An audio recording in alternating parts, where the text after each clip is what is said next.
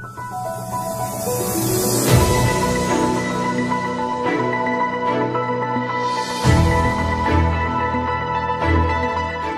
Buenos días, bienvenidos a una nueva emisión de CRC al Día, un programa en línea desarrollado por la Comisión de Regulación de Comunicaciones, transmitido a través de redes sociales para informar a los usuarios de los servicios de comunicaciones, los servicios postales, así como a los televidentes sobre sus derechos y las medidas diseñadas para su beneficio.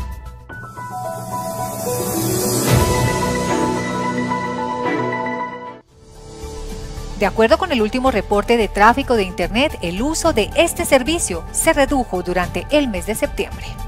La CRC publicó el reporte de tráfico de Internet número 20, con corte al 4 de octubre de 2020, en el que se evidenció que el tráfico en el mes de septiembre presentó una reducción de menos 9,2% respecto al mes de agosto. Este último había presentado un crecimiento del 4% con respecto a julio, mientras que el tráfico semanal promedio entre abril y junio fue de 534 millones de gigabytes, entre julio y septiembre se registró un tráfico promedio semanal de 579 millones de gigabytes. La franja de mayor consumo sigue ubicándose entre las 6 pm y las 10 pm, el horario prime de entretenimiento y de redes sociales. Como se evidencia, a pesar de las variaciones del tráfico, los operadores continúan garantizando el acceso al servicio de Internet sin traumatismos. Este reporte puede ser consultado en la página web de la CRC www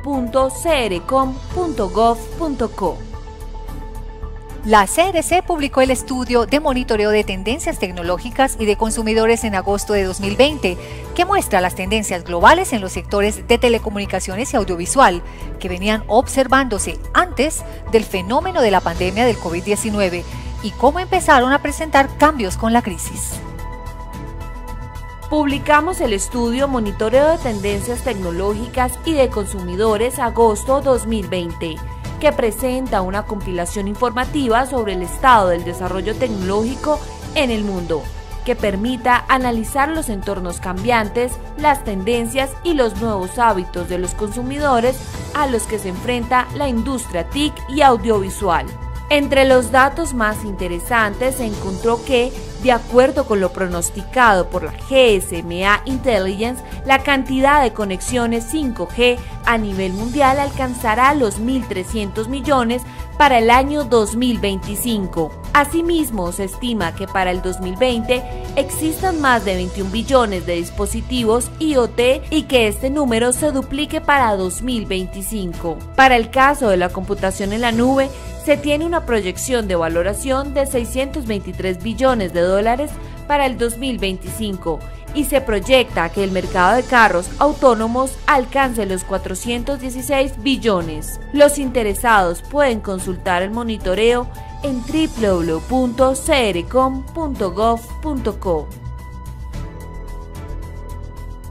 En el mes de septiembre se expidió la resolución CRC 6058 de 2020, con la cual amplía la suspensión e inicia el desmonte de algunas disposiciones regulatorias emitidas durante la emergencia sanitaria con el propósito de garantizar la prestación de los servicios públicos de telecomunicaciones y postales durante la emergencia sanitaria extendida hasta el 30 de noviembre de 2020, la CRC amplió la vigencia de algunas de las medidas transitorias expedidas para aportar desde sus funciones a la mitigación de la propagación del COVID-19 e inició el desmonte gradual de medidas para acompañar la reactivación económica que comienza el país en la fase de mitigación de esta pandemia.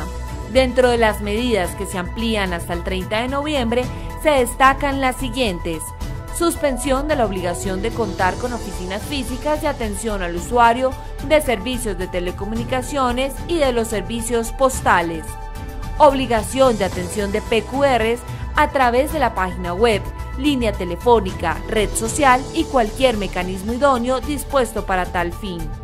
Y la modificación del horario de atención telefónica para permitir que el usuario pueda presentar cualquier petición, queja, reclamo o recurso a través de la línea telefónica gratuita del operador entre las 8 a.m. y las 6 p.m. los 7 días de la semana garantizando las 24 horas del día, los 7 días de la semana, la atención de reporte de hurto y extravío del celular, activaciones de recargas y fallas en la prestación del servicio. Asimismo, la CRC inició el desmonte gradual de otras medidas con el fin de acompañar el proceso de reactivación económica que comienza el país entre las que se encuentra el no cobro de intereses por mora cuando el usuario deja de pagar oportunamente su factura, ampliando su vigencia hasta el 30 de septiembre de 2020 para todos los servicios de telecomunicaciones. Así las cosas, a partir del 1 de octubre de 2020,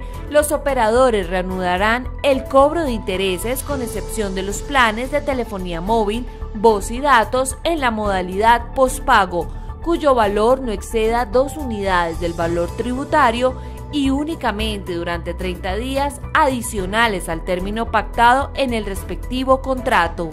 Los interesados pueden consultar la resolución CRC 6058 de 2020 en www.cerecom.gov.co. La Comisión de Regulación de Comunicaciones CRC estrenó su nuevo portal de trámites con el propósito de facilitar el acceso por parte de los ciudadanos y demás grupos de valor. Con el nuevo portal, los trámites de homologación, registro de números excluidos y la erradicación de PQRs presentan significativas mejoras que benefician a los usuarios. Como parte de su estrategia de transformación digital, la CRC implementó el nuevo sistema de información que permita realizar los principales trámites y servicios ofrecidos por la entidad, facilitando la interacción con los agentes del sector y ciudadanía en general, a partir de los criterios de seguridad, confianza, accesibilidad y usabilidad que ofrezcan una mejor experiencia de usuario y calidad del servicio a través de Internet el nuevo portal de trámites de la CRC www.trámitescerecom.gov.co incorpora en su primera fase trámites y servicios tales como homologación de equipos móviles, registro de números excluidos, registro de peticiones, quejas, reclamos y solicitudes, Dichos trámites y servicios están acompañados de nuevas funcionalidades como la consulta del Estado y trazabilidad de las solicitudes y el registro de organizaciones que funcionará en interoperabilidad entre Mintic y Confecámaras. Los usuarios además podrán acceder al portal a través de cualquier dispositivo tecnológico, computador portátil, móvil o tableta, garantizando una mejor experiencia durante la interacción con el sistema. Con este sistema, la CRC brindará a los ciudadanos y grupos de valor trámites y servicios ágiles y eficientes implementando mecanismos de confianza, seguridad, calidad y trazabilidad en línea con lo establecido en la política de gobierno digital del Ministerio de Tecnologías de la Información y las Comunicaciones. La Comisión de Regulación de Comunicaciones realizó su audiencia de rendición de cuentas para contarle a los ciudadanos sobre los avances de su gestión durante el año 2019 como muestra de su compromiso con los usuarios de servicios de comunicaciones en Colombia y de los televidentes, y en el cumplimiento de la misión y las funciones asignadas por la ley, la CRC llevó a cabo su audiencia de rendición de cuentas CRC Te Cumple el pasado 2 de octubre para dar a conocer los resultados de su gestión durante el año 2019. Los interesados podrán ver la repetición de la transmisión de la audiencia en el canal de YouTube de la entidad. Como parte de su estrategia de participación ciudadana y en su compromiso con los diferentes grupos de valor de la entidad, la comisión realizó diferentes eventos durante los meses de septiembre y octubre. El 16, 23 y 30 de septiembre y el 7 de octubre se desarrolló el ciclo de foros virtuales los desafíos, riesgos y oportunidades de la regulación convergente de plataformas OTT audiovisuales, organizadas junto con el Observatorio Latinoamericano de Regulación, Medios y Convergencia, Observacom, con el objetivo de promover el diálogo y la reflexión respecto de temas regulatorios y de coyunturas relevantes en la actualidad. El 23, 24 y 25 de septiembre se desarrollaron los webinars sobre la implementación del nuevo régimen de compartición de infraestructura eléctrica con el objetivo de afianzar el conocimiento de las medidas regulatorias expedidas para que éstas sean entendidas y debidamente aplicadas por los grupos de valor de la CRC. El 8 de octubre se desarrolló una mesa de trabajo con la Asociación Nacional de Proveedores de Servicios de Internet para dar a conocer la normatividad asociada al negocio con la participación del Ministerio TIC. Estos espacios hacen parte de la estrategia de gestión del conocimiento de la entidad. En el mes de septiembre, la CRC inició el ciclo de capacitaciones preparatorias para socializar y explicar en qué consiste el sandbox regulatorio, una herramienta que se usa como mecanismo regulatorio que permite fomentar la innovación y aumentar la velocidad de adaptación del marco regulatorio a los avances tecnológicos, así como impulsar la ampliación de la oferta de productos, servicios y soluciones en el sector de las comunicaciones y postales. Dichas capacitaciones y talleres incluyen simulacros de aplicación y postulación de proyectos. Estos talleres y capacitaciones están dirigidos a todos los interesados. La Comisión de Regulación de Comunicaciones CRC publica el Código de Buenas Prácticas para el Despliegue de Infraestructura de Telecomunicaciones, versión 2020, un manual que presenta de forma más sencilla las condiciones que afectan el despliegue de redes y servicios TIC para apoyar la actualización normativa con el propósito de facilitar el entendimiento de las condiciones que resultan propicias para el desarrollo de redes y servicios TIC mediante la eliminación de barreras al despliegue de redes, la CRC actualizó el Código de Buenas Prácticas para el despliegue de infraestructura. Con la publicación de este documento de buenas prácticas, la CRC busca entregar herramientas para que los equipos de las autoridades territoriales puedan acceder de manera rápida y clara a la información relevante en materia de redes de telecomunicaciones, que les permita acreditarse ante la CRC como municipios libres de barreras para poder ser priorizados por el Ministerio TIC para acceder al beneficio de nueva cobertura para telefonía e Internet móvil a través de los programas que dicho ministerio adelanta. La nueva guía contiene una caracterización de los agentes involucrados, la relación de las principales normas nacionales aplicables, los tipos de barreras existentes, incluyendo servicios de televisión y radio, así como las consideraciones frente al despliegue de redes 5G y la información normativa en materia de límites de exposición humana a campos electromagnéticos emitida por la Agencia Nacional de Espectro. El Código de Buenas Prácticas para el Despliegue de Infraestructura de Telecomunicaciones y toda la información sobre la estrategia de despliegue de infraestructura puede ser consultado en el siguiente enlace para dar cumplimiento a lo establecido en la resolución CRC 5890 de 2020, que establece las disposiciones del régimen de compartición de infraestructura eléctrica vigente, la Comisión, mediante la circular 130, recomendó a los proveedores de redes y servicios de telecomunicaciones adelantar, en conjunto con los proveedores de infraestructura eléctrica, las actividades relacionadas con la revisión y ajustes de los acuerdos en cumplimiento de los topes tarifarios establecidos.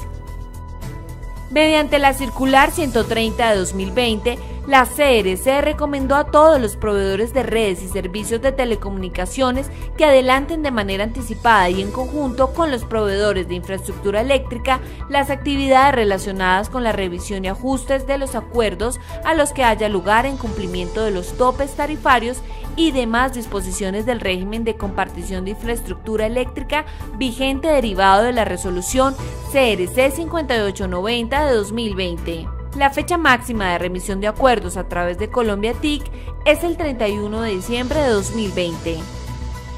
Durante los meses de septiembre y octubre, la CRC publicó diferentes proyectos regulatorios para comentarios con el fin de construir de manera conjunta con todos sus grupos de valor medidas regulatorias que respondan a las necesidades del sector. Asimismo, emitió medidas en materia de medición de calidad. En el mes de septiembre se publicó la consulta sobre propuesta de alternativas del proyecto regulatorio Digitalización del régimen de protección de los derechos de los usuarios de servicios de comunicaciones. El proyecto fue publicado con el propósito de evaluar las alternativas identificadas en el proceso de análisis de impacto normativo. De igual forma, el 10 de septiembre la CRC expidió resolución CRC 6064 de 2020, medida en materia de medición en campo de parámetros de calidad de servicios móviles y fijos, así como el documento de respuestas a los comentarios recibidos a la propuesta publicada en el marco del proyecto regulatorio. Finalmente, se dio apertura a la consulta pública de simplificación de normas en desuso en materia de televisión y en aplicación de la metodología de análisis de impacto normativo con el fin de identificar las medidas regulatorias en materia de televisión y contenidos candidatas a eliminación por encontrarse en desuso. Los invitamos a consultar toda la información sobre la CRC en la página web de la entidad www.crcom.gov.co. También seguir las redes sociales en donde encontrarán información de interés y además podrán ser orientados sobre sus derechos en Twitter, arroba CRCCol, Facebook, Comisión de Regulación de Comunicaciones, Instagram, CRCCol, en YouTube, CRCCol.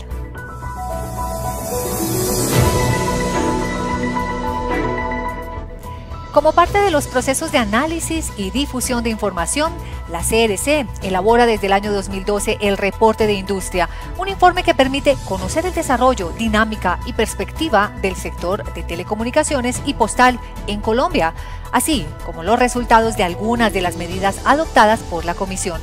Para contarnos sobre los resultados de este reporte, invitamos al tablero al comisionado de la sesión de Comisión de Comunicaciones, Nicolás Silva Cortés.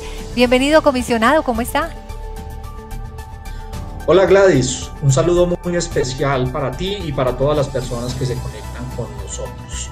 Para la Comisión de Regulación de Comunicaciones es muy importante contarle a los colombianos los resultados de nuestro trabajo como autoridad regulatoria a través del cual buscamos maximizar el bienestar de los usuarios para permitirles disfrutar de los mejores servicios de comunicaciones. Así es, comisionado. Qué bueno y muchas gracias por su saludo. Comisionado, si bien esta es la novena versión del reporte, ¿cuáles son las novedades de este informe? Gladys, esta novena versión del reporte trae novedades, tanto de forma como de fondo. En el documento nosotros abordamos lo correspondiente a servicios móviles, servicios fijos, televisión por suscripción y radio en lo que tiene que ver con el sector TIC. Y también incluimos información sobre los servicios de correo, mensajería expresa y giros nacionales. Estos últimos como parte del sector postal. De esta forma, ponemos a disposición de los lectores un resumen del comportamiento de la industria en el año 2019. En el informe también incluimos un análisis macroeconómico y del sector TIC del año 2020, y esto a raíz de la emergencia económica y social causada por el COVID-19. Asimismo, estamos incluyendo cifras del comportamiento de la utilización de infraestructura de telecomunicaciones, el roaming automático nacional, la portabilidad numérica y radiodifusión sonora. En síntesis, desde la Comisión estamos muy satisfechos por cuanto con el paso de los años hemos logrado entregar un informe mucho más completo y sencillo que permita a los interesados explorar a fondo tanto los datos como las cifras a través de nuestra plataforma de datos abiertos que se denomina www.postdata.gov.co. Doctor Nicolás, empecemos hablando de los servicios móviles. ¿Cuántas líneas con servicio de Internet móvil hay en Colombia? Gladys, en 2019 en Colombia alcanzamos un total de 1.8 millones de accesos a Internet móvil. Los accesos en modalidad prepago alcanzaron un valor cercano a los 18.3 millones, es decir, 2.5 millones más que en el año 2018. Estos accesos corresponden al 59% del total nacional, mientras que el 41% restante se asocia a los accesos en modalidad de postpago siendo estos cercanos a 0.6 millones, es decir, casi un millón más que el año inmediatamente anterior. Se destaca también que el tráfico de Internet móvil ha aumentado de manera significativa, esto soportado especialmente en lo que se denomina la tecnología 4G, que opera principalmente en ciudades y municipios densamente poblados. En estos sí observamos que esta tecnología ha logrado un mayor despliegue si se compara con las tecnologías anteriores 2G y 3G. En concreto, según lo que se puede ver en el informe, los accesos 4G en el año 2019 superaron a los accesos de otras tecnologías, posicionando al 4G como el más utilizado para acceder al servicio de Internet a través de redes móviles. En línea con lo anterior, cabe también destacar que el consumo de datos móviles se ha incrementado casi en un 300% en el país entre los años 2016 y 2019, pasando de un promedio de 293 a 1150 megabytes por mes por cada uno de los usuarios. Y para el servicio de telefonía móvil, ¿a cuántas líneas llegamos en 2019? ¿Cuántos minutos consumimos los colombianos el año pasado? Gladys, en 2019, según los datos que fueron recabados en el servicio de línea móvil creció en 1.4 millones de líneas respecto del año 2010, alcanzando de esta forma un total de 66.28 millones de conexiones. De esta forma, el país alcanzó una penetración de líneas de voz móvil del 134%. Al respecto, es importante resaltar también que las líneas en modalidad postpago crecieron en un 5%, mientras que aquellas que están relacionadas con la modalidad prepago lo hicieron en un 1.3%. Respecto del consumo de llamadas, pasamos de hacer 118 mil millones de minutos en el año 2018 a 149 mil millones en el año 2019, lo cual corresponde a un incremento del 26%. En el informe se puede observar que las cifras muestran que el aumento del consumo de minutos en modalidad prepago fue de 18 mil millones de minutos respecto de 2018, mientras que el crecimiento para la modalidad postpago fue de 12 mil millones. En el mes de julio entró en vigencia la reducción del tiempo que nos toma cambiarnos de operador. ¿Cuántas portaciones se realizaron en 2019? ¿Los colombianos cambiamos mucho de prestador de este servicio? En efecto, Gladys, los colombianos seguimos haciendo un uso masivo de la portabilidad numérica. Y esto se refleja al observar las cifras del año 2019, en el cual se realizaron 4.3 millones de operaciones de portabilidad. En todo caso, al reducir la comisión a través de su regulación en el año 2020, el tiempo de portación pasando de tres días a menos de un día, se esperaría que esta facilidad siga siendo utilizada en forma masiva por los usuarios. Esto para poder acceder a mejores planes, puesto a mejores tarifas. Ahora hablemos sobre los servicios fijos, comisionado Nicolás. Claro que sí. Eh, para el año 2019, según lo que observamos en nuestras cifras, los accesos fijos a Internet alcanzaron 6.95 millones, y esto representa un crecimiento del 3.8% frente a lo registrado en el año 2018. Si continuara este mismo comportamiento, nosotros esperaríamos que para finales del año 2020 los accesos a Internet fijo superaran el número de líneas de telefonía fija en Colombia. Este fenómeno, en todo caso, es importante mencionar, ya se registró a nivel mundial desde el año 2018. Ahora, las cifras a nivel regional muestran que en el año 2019 el 27.6% del total de conexiones fijas a Internet estaban localizadas en la ciudad, mientras que fue, este fue seguido por Antioquia con el 17.7% y por el Valle del Cauca con el 11.2%. Eh, es de mencionar también que la capital del país sigue exhibiendo las tasas de penetración más altas, tanto en términos de hogares, que alcanzan un 66.2%, como en términos de personas, que alcanzaría un valor de 23.2%. Comisionado, ¿las líneas fijas telefónicas también crecieron en 2019? Gladys, el servicio de telefonía fija en el país sigue estando muy presente como parte de nuestras comunicaciones. En cifras, es importante mencionar que para el cierre del año 2019, el número de líneas de telefonía fija en Colombia era ligeramente superior a 7.1 millones, de las cuales el 82% correspondía a líneas residenciales. En ese orden de ideas, la tasa de penetración residencial del servicio alcanzó un 36%, manteniéndose relativamente estable durante los últimos cuatro años. Y en materia de televisión comisionado, ¿los servicios en línea han afectado su crecimiento? Gladys, el número de conexiones de televisión por suscripción en Colombia, según las cifras de la Comisión, llegó a 5.9 millones en el año 2019, representando un crecimiento muy leve del orden del 0.6% respecto de las conexiones reportadas en el año 2018. La tasa de penetración en términos de hogares se ubicó en 37% entonces en el año 2019 y cabe destacar que la dinámica de este servicio había sido destacada también por parte de la Comisión en un estudio que publicamos hace unas semanas que se llama El rol de los servicios OTT en el sector de las comunicaciones en Colombia. En este estudio se evidencia que en el país la tasa de penetración tanto de los servicios de televisión tradicionales como también de aquellos que se prestan a través de plataformas en línea que se conocen como OTT se mantuvo relativamente inalterada entre los años 2018 y 2019. Asimismo, de los estudios que adelanta la comisión, cabe destacar, entre otras cosas, que la televisión por suscripción sigue siendo la plataforma preferida por los colombianos para el consumo de series, películas, deportes, documentales, telenovelas y realities. Interesantes todas estas cifras sobre el comportamiento de los servicios de comunicaciones. Ahora, comisionado, cuéntenos sobre los servicios postales. ¿Qué tanto usamos los colombianos estos servicios? Gladys, en el año 2019, los, en materia de servicios postales se realizaron 626 millones de transacciones a lo largo de todo el territorio nacional.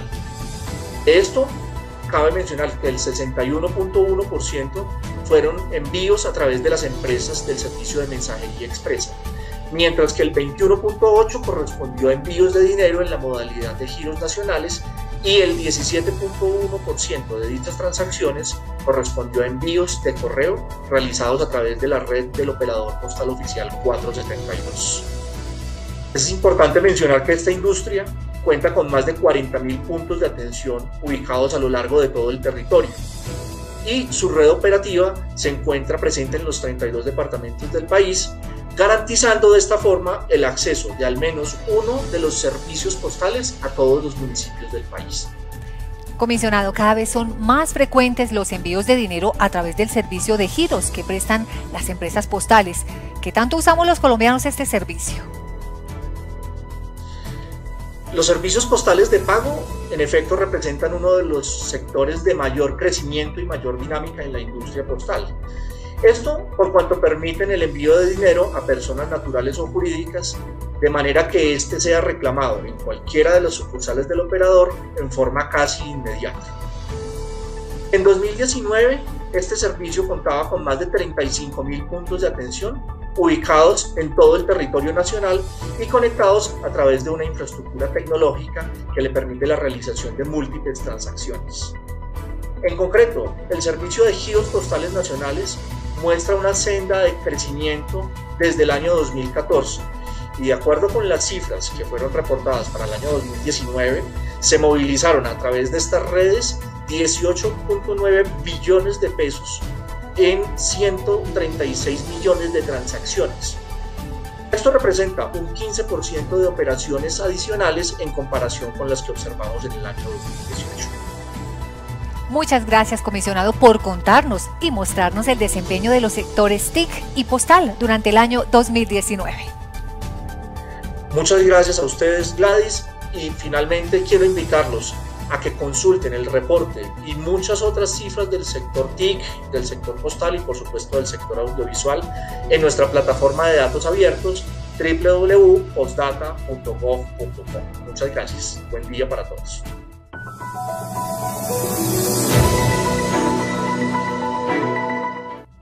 La Comisión de Regulación de Comunicaciones es la entidad técnica del Estado, altamente especializada, encargada de regular los servicios de comunicaciones y postales, así como los contenidos audiovisuales en Colombia. El diseño de la regulación eficiente es una de las principales funciones de la Comisión, pero ¿sabemos todo lo que comprende el proceso de diseño regulatorio? Escuchemos qué dicen los ciudadanos.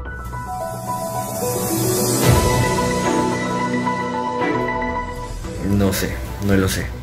Mm, no, la verdad no sé, ni idea. El proceso para el diseño de la normatividad consiste en, primero, Plantear problemas identificando afectados, causas, consecuencias y soluciones. Segundo, formular a partir de la problemática un proyecto con su plan de acción e indicadores de gestión. Tercero, definir las posibles alternativas regulatorias comparando los beneficios y costos mediante el análisis de impacto normativo para así construir y desarrollar la propuesta a presentar. Cuarto, socializar con los agentes del sector y todos los grupos de valor de la entidad la propuesta con el fin de recibir comentarios que permitan diseñar medidas eficientes.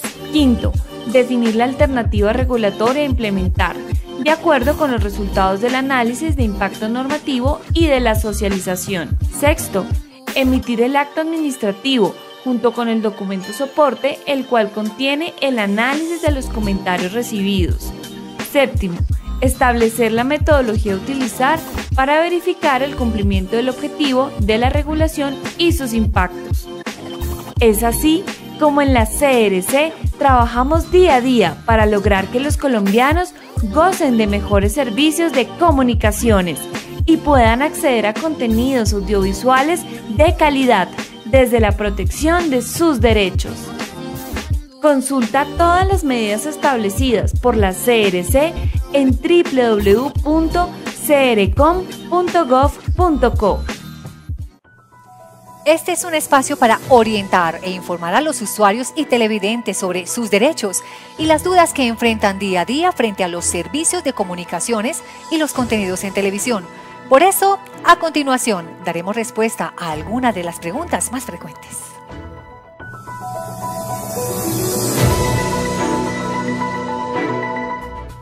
Solicité la aportación de mi número, pero el proceso ha tardado más de un día. Quisiera saber cuál es el tiempo máximo en el que el operador debe activar mi línea. Si la solicitud de aportación no fue realizada en una oficina física de atención al cliente, el número deberá ser activado en la madrugada del día hábil siguiente al recibo de la SIM card por parte del usuario. Es así como el tiempo de aportación es menor a un día, si el usuario recibe la SIM card en el mismo día en que presenta la solicitud. Si el usuario realizó la solicitud por un medio no presencial, el usuario debe recibir su SIM card y ser portado efectivamente en un plazo no mayor a tres días hábiles. Si definitivamente no recibe la SIM card en este tiempo, procederá a la compensación automática por indisponibilidad del servicio.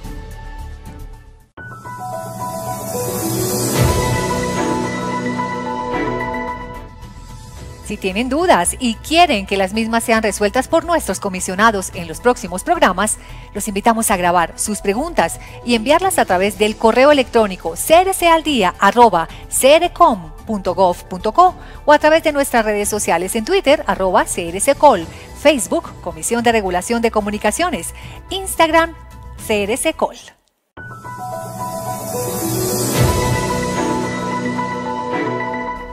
Como les contamos al inicio del programa, la CRC estrenó su nuevo portal de trámites con el propósito de facilitar el acceso por parte de los ciudadanos y demás grupos de valor. Conozcamos este nuevo portal.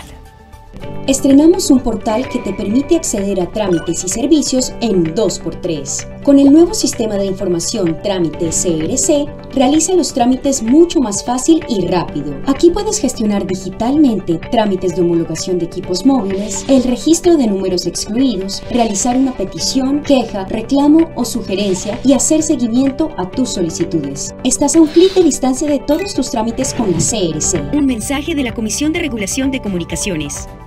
Muchas gracias a todos por acompañarnos en esta nueva emisión de CRC al Día, un programa desarrollado para orientar e informar a los usuarios y televidentes sobre sus derechos y el trabajo que viene desarrollando la CRC para maximizar su bienestar.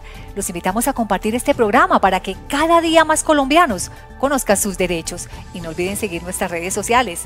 Los esperamos en nuestra próxima emisión. Muy buen día para todos.